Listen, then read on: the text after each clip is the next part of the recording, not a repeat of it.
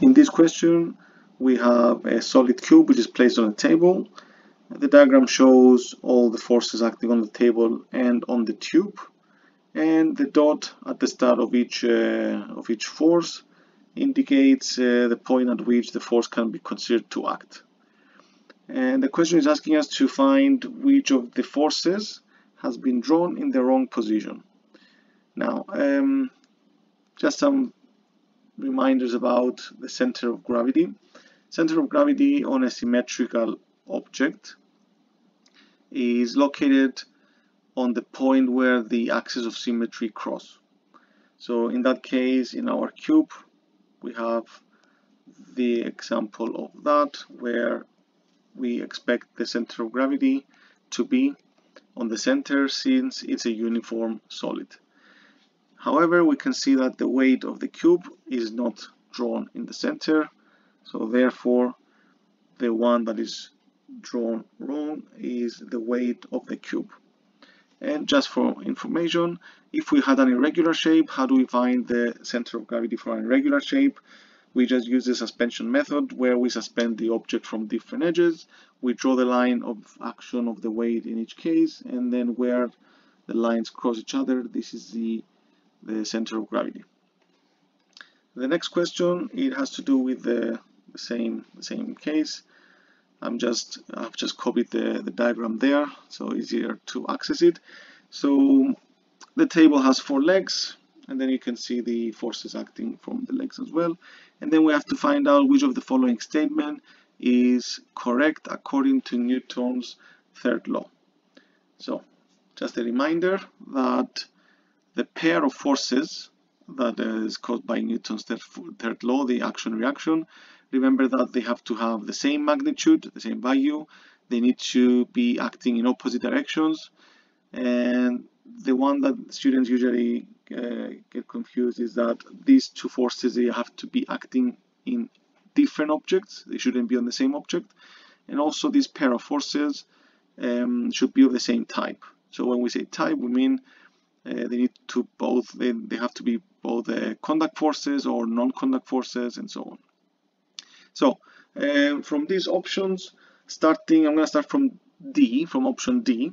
So option D is saying, saying that the force, the reaction force of the table on the cube, this one, is equal to the weight of the cube.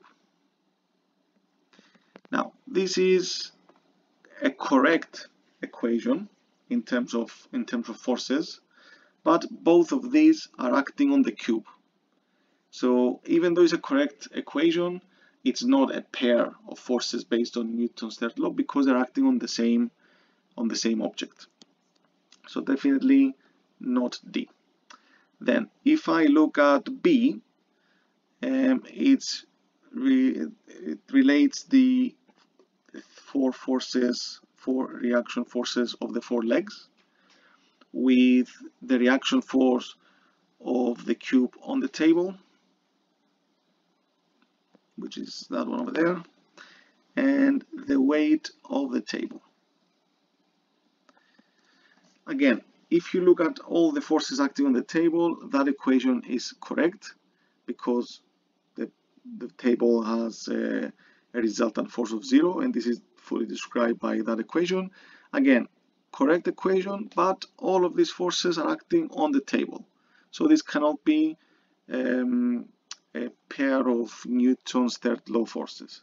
So even though it's a correct equation, uh, is not the one we're looking for. Then um, option A, it relates again the four forces from the legs of the table and it says that this is equal to the reaction force of a cube on the table. This is on the table and then is relating the reaction force of the table on the cube.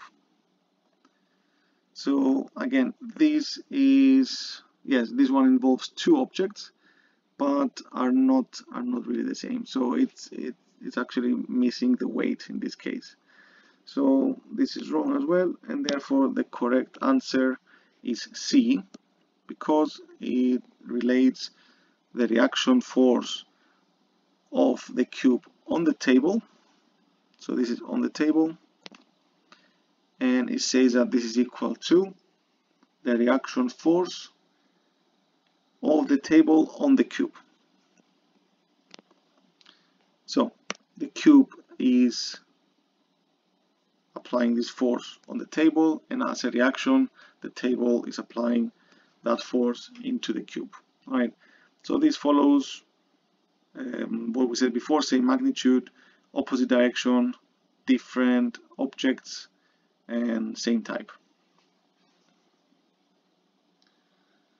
Then moving on to the next question, you have this electric pump uh, that lifts water from a well through a height of 10 meters at a rate of 4 kilograms per second. The water leaves the pump with a velocity of 5 meters per second and we need to find an expression that can be used to determine the minimum power output of the pump in watts. So, um, a reminder that the power is the energy per time. So here we can find a relation that gives us the energy that is given by this uh, pump in one second per second, let's say. Now the water starts from there and what does the pump do is lifting the, the water up to a height of 10 meters. So the water, when the water is there, it has gained some gravitational potential energy, but also the water um, has some velocity, therefore it has some kinetic energy. So the output of the power of the pump, sorry, it should be the sum of these two energies. But since we're looking at power then we have to consider time to be one second. So what is happening in one second?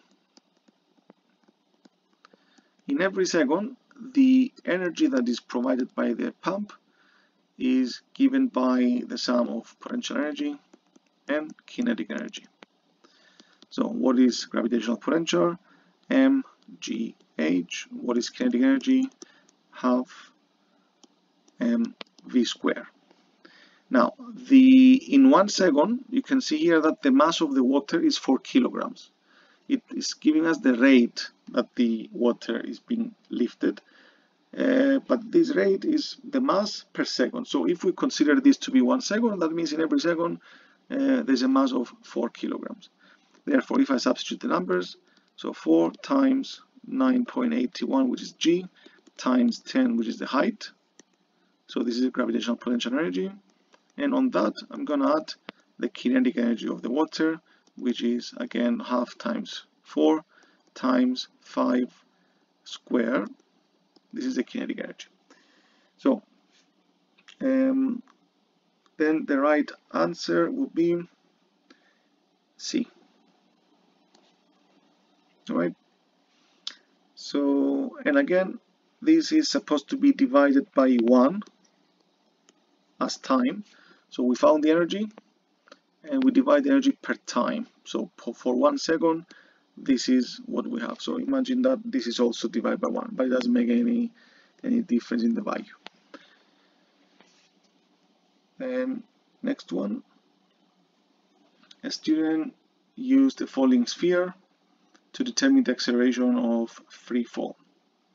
The camera produced images of the sphere at constant time intervals as it fell. So the camera is taking um, pictures, it is taking photos at constant time intervals. So that the time difference between each image is the same, the same unit of time.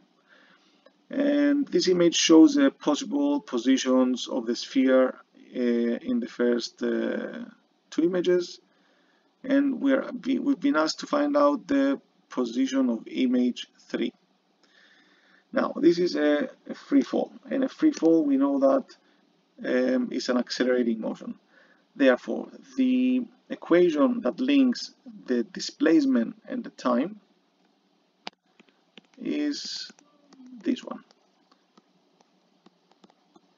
So, this sphere is dropped, so starting velocity is zero, and this is why we haven't used that one because that term over here is equal to 0. So this image is actually linking the displacement, which is the distance covered from the beginning, with time because every image is taken in a in a different time in, in, a, in the same time interval right so from this equation you can see that the relation of displacement and time is that the displacement is directly proportional to the square of time. And what does this mean? If time is one unit let's say this is also 1 because 1 in the power of 2 is 1 if we have two time intervals this can be two seconds it can be two minutes or whatever but we just use like two, un two units of time. So if t equals 2 then the displacement will be 4 because of the relation and so on. Then if it's 3 then if it's 9 and, and so on right? Now we're looking at the third image. So the third image will be on the second time interval. So this is let's say t1 right? And after two intervals it will be from there to the next possible image. So you can see that for two time intervals we're going to have four units of uh, displacement so that means the third image will be in four units of displacement so therefore this will be the position Right, so the time it always starts from 0, 0 is that point over there. So we always measure from the beginning. So therefore answer is C. And the last multiple choice question of this paper, we have a spring that is compressed with a force F for a distance x. So in the first spring, F equals K times extension, or the compression in that case. So this is Hooke's law. Now this is second spring, so that will be spring 2 of double the stiffness, so that would be 2K which is compressed by the same distance x. So we can see that kx, which is equal to force 1, is that part of the second equation. So these can be f1. Therefore, we can conclude that f2 equals 2 f1. Right, therefore, B is the right answer.